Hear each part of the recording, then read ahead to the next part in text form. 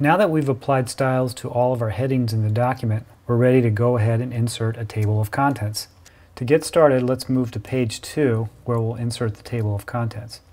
Under the line Table of Contents, click once to place your cursor on line 2.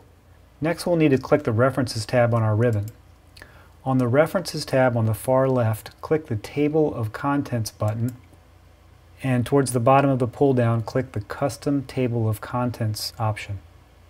In the Table of Contents dialog box, the only option you need to change is Show Levels. Right now it's currently set to 3. Let's move it up to 5 in case you have to apply up to a fifth level heading. These other options, show page numbers, we want to have checked. We also want to right align the page numbers and the tab leader is already set to a dot leader tab. So nothing else needs to be changed. Once you click OK, it'll insert the table of contents. I'll scroll up a little bit and you can see the entire table of contents.